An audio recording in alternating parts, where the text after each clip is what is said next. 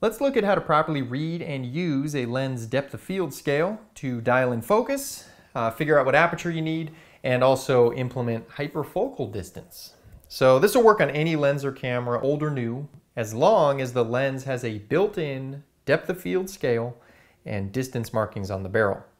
Like I have a bunch of lenses and cameras up here. Some have it, some don't. On my old Minolta, the 50 millimeter lens attached has a clearly defined depth of field scale and uh, distance markings on the lens. My Mamiya 645 Pro, both lenses have it. But even my modern lenses for my Canon digital camera, some ha have it, some don't. My uh, 24 millimeter tilt shift has it, which is nice because this is a manual focus only lens. But even my autofocus 28 millimeter has it. My uh, 40 millimeter pancake does not. Also, my 70 to 200 doesn't, and neither of the lenses for my Fuji digital camera have it. So uh, this will only work on lenses that have a depth of field scale built in. Now we're going to look at uh, different techniques to make use of this depth of field scale. The first one we're going to look at will only work on SLRs, TLRs, and rangefinder cameras. In other words, cameras where you can tell visually where the lens is focused. Um, on a rangefinder, it's done with the split image, but of course on an SLR or TLR, it's just done visually by looking at the image through the viewfinder. There's going to be a different technique we have to look at for cameras that have a viewfinder but no rangefinder. And so I need to clear up the difference between viewfinder and rangefinder uh, because these terms often get used interchangeably and they're definitely not the same thing. So a viewfinder is a window, quote unquote window. I know it's kind of a weird term to use, but it's a window built into a camera that allows you to judge framing and composition. Not necessarily focus though. A rangefinder, on the other hand, is specifically for focus. And that's usually a split image that you have to line up two split images to one to uh, focus the lens. So some cameras have a viewfinder but no rangefinder. Uh, some cameras have both combined into one. Uh, for instance, my uh, Minolta SLR, my Mamiya 645 Pro, um, you're looking through the same window for composition and focus. It's just one viewfinder. But if we look at like my Polaroid land camera here, which uses uh, old pack film, there's two separate windows. Uh, one is the rangefinder, one is the viewfinder. So you start by looking through the rangefinder and you adjust your focus that way with a split image. And then once you've achieved focus, you move over to the viewfinder to adjust your composition and take the photo. My Fuji GA645ZI is kind of a weird one because this had, most people would call this a rangefinder camera, but I don't think it's technically a rangefinder because the window that I look through doesn't have a split image or any way to visually just adjust focus or gauge focus.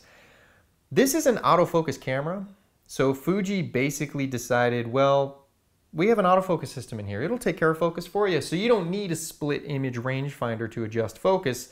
We got it. It gets it right a solid 65 to 70% of the time, but um, that I don't think is a rangefinder because uh, it's only a viewfinder camera because I just do composition through there. I don't adjust focus through that window. Uh, and a common camera where you'd run into, uh, it has a viewfinder, but no way to visually gauge focus, would be like a 6x17 external viewfinder panoramic camera. So that would be like a Fuji uh, G617 or a Linhof Technorama one of those where you look through a window to judge composition, but there's no way to know visually where the lens is focused. Those are dependent entirely on the distance markings on the lens. So it's going to be a little bit different technique for, um, for those types of cameras. But let's start with the cameras where you can actually visually tell where the lens is focused. And uh, let's start with the most basic of basics, which is how to actually read this depth of field scale. So on my Minolta here, let's say I'm planning on taking a picture at f16, and let's say my lens happens to be focused right about here. Well, I can see, according to my depth of field scale, that I'm going to get a depth of field from 7 feet, actually just shy of that, 6 point something, all the way to 30 feet. That's going to be the acceptable uh, areas of focus in my image. If I were to instead focus uh, right here, still using f16, my depth of field is going to be 4 foot to 7 foot. So you can see they're very simple to read. They're just telling you near to far how much of the image is going to be in focus. So um, that's one way to use the depth of field scale, just seeing how much you're going to get in focus. But uh, let's take it a step further. Let's um, use the depth of field to guide us on where to focus and what aperture to use. So for that, I'm going to use my uh, Mamiya 645 Pro TL here with the 80 millimeter lens. So here's how you do it. First, I would focus on the near point in my photo and note the distance on the lens. So let's say I focus on my nearest subject, the nearest point of my desired depth of field, and I look at my lens and I see that I'm focused 10 feet away. So I'm gonna make a mental note of that, 10 feet. Now I'm gonna focus on the furthest point of my desired depth of field. I look at my lens again, I see that it's at 30 feet. So 10 feet to 30 feet. Now I'm gonna adjust the focus on my lens halfway between those two points. Not halfway in terms of distance, I'm not gonna put it at 20 feet, I'm gonna put it halfway between those two points on the lens. So that's going to be right about here. Happens to be uh, 15 feet in this case. So now I'm focused perfectly for my desired depth of field. And I'm going to look at my depth of field scale and see what aperture I should use. And I see that 10 feet is lined up with about f11, 30 feet is lined up with about f11, so I need to use f11. Now this technique would be exactly the same even if uh, your far point is infinity. So let's say, for example, I uh, focus on my near point and I see that it's 10 feet. Then I focus on my far point. I see that it's infinity. And again, I'm just going to split those two points on my lens here so that they're equidistant between the middle point. And I see now, 10 feet to infinity, I have to use f16 and I have to focus a little beyond 15 feet. That, by the way, is hyperfocal distance, which we're going to talk about more in just a minute. Now, this technique is going to be no different even if your near and far points don't line up with any obvious markings on the lens. So for instance, let's say my near point is right here, a little bit beyond five feet, and my far point is right here, a little bit beyond seven feet. I'm still going to do the same thing. I'm just going to split those two points on the lens so that they're equidistant from the middle mark of the focusing scale. And I can see now that I'm going to have to use F11. Now this is real easy to apply as you can see on uh, lenses that use helical focusing. So that's these types of lenses where when you rotate the, the ring, the lens uh, goes in and out. It's called helical because helical comes from helix, and there's a helix-shaped mechanism in there that uh, causes that to happen. But some cameras don't have helical mechanisms, like my Mamiya C220. Focus is achieved by adjusting the uh, dial on the side. It can still be applied on this, uh, which is kind of cool, because you see on the other side of the camera there's a distance scale uh, with a bunch of lines here indicating different lenses. So here's how this would work. So I would first, again, focus on my near point. Then I would look at the side of the camera and I would have to find the line for the lens I'm using. So I'm using a 105 millimeter lens. Um, I'm going to find that line there. And when I focus on the near point, I see that uh, the line intersects the camera right at six feet. Uh, so that's my near point. Now I'm going to focus on my far point. And then again, I'm going to see where the line intersects the camera. Looks like it's right about I guess eight feet, uh, probably about right. So six feet to eight feet.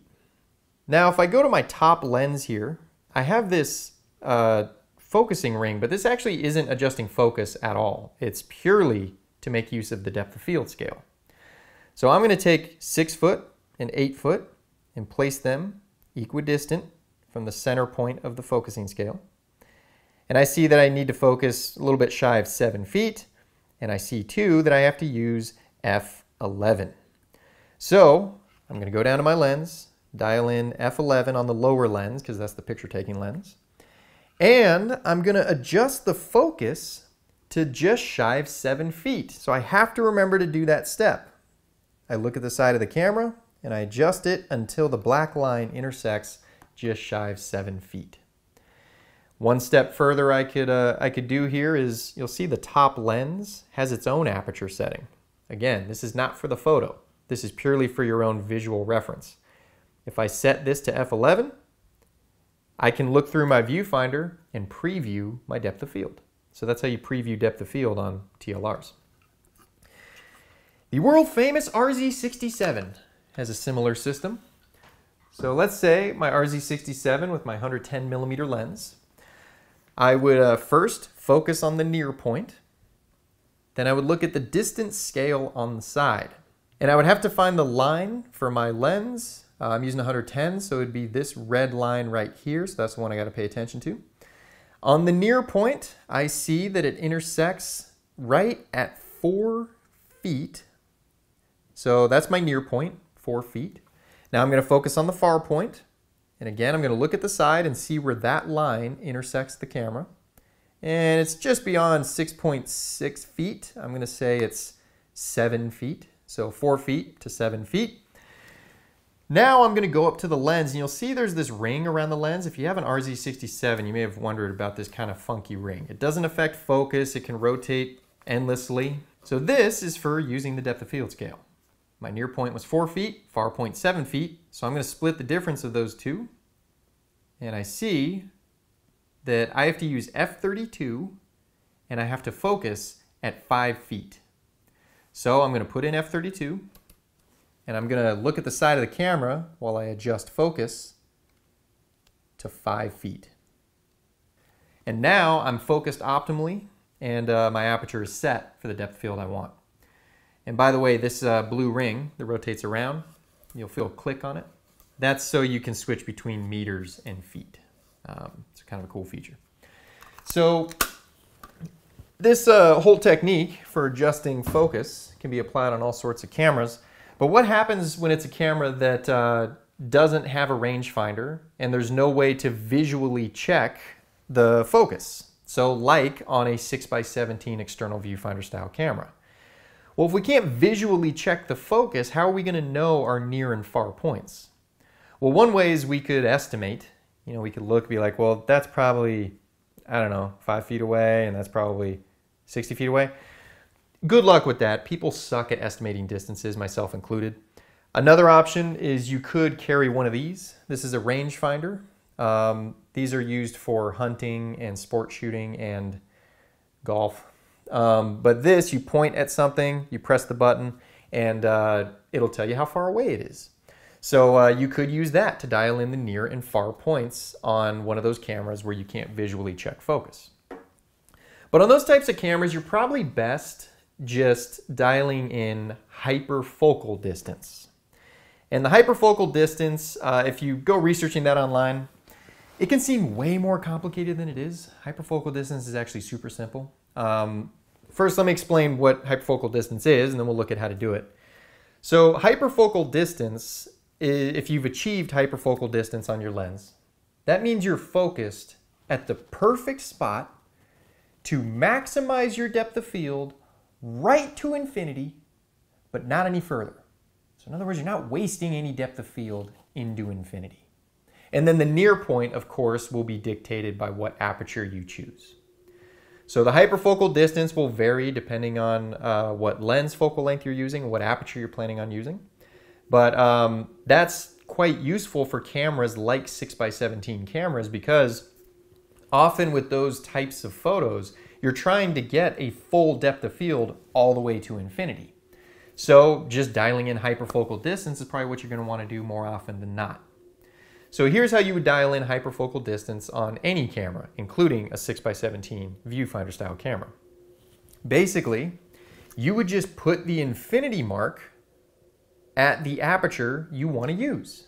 So on my Minolta here, if I'm going to use f22, I would just put the infinity mark at f22. I am now dialed in perfectly for hyperfocal distance at f22. And then I can check how close is the near point of my depth of field? And it looks to be about six feet. So I know that if I use F22 focused at this distance, I'm gonna have a depth of field from six feet to infinity. So that's what you would do on like a 6x17 uh, viewfinder style camera. You just figure out what aperture you want to use, uh, put the infinity mark at that aperture, see what the near point is. If you're not happy with that near point, you might need to use a different aperture and readjust things. Um, but hyperfocal distance, super easy to dial in and can be really helpful if you're doing uh, landscapes and architecture and scenery type stuff where you want a huge depth of field. Now, by the way, you'll notice on this example that the near point of 6 feet is half the hyperfocal distance of about 12 feet. And it seems every resource online and any hyperfocal calculator will say this is always the case, that the near point will be half the hyperfocal distance. Now, I'm not an engineer, so I'm not going to say that that's wrong or right, but I will say that this doesn't jive with all of my lens's depth of field scales. Like on my RZ67's 50 millimeter, the hyperfocal distance for f32 is at 3.5 feet, but the near point is lined up beyond 2 feet. Same for my RZ's 75mm. The hyperfocal for f22 is showing 10 feet, and yet the near point is more like 5.5 feet. Make of that what you will, but these are the numbers I go by rather than the simple formulas because personally I tend to put more faith in the team of engineers that design these lenses and most certainly ran endless resolution tests at every aperture to come up with these scales, you know, before they sold them to the public.